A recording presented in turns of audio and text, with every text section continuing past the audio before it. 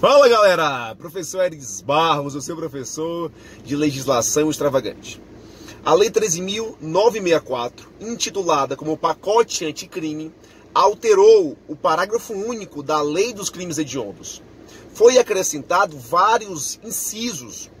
O inciso 5 trata do crime de organização criminosa destinados, direcionados à prática de crime hediondo ou equiparado. Perceba que a organização criminosa por si só, aquela que consta no artigo 1 parágrafo 1 da Lei de Orcrim, ela por si só não é crime hediondo. A organização criminosa só será crime hediondo se for direcionada para a prática de crimes hediondos ou equiparados, de acordo com o novo regramento da Lei dos Crimes Hediondos. Valeu!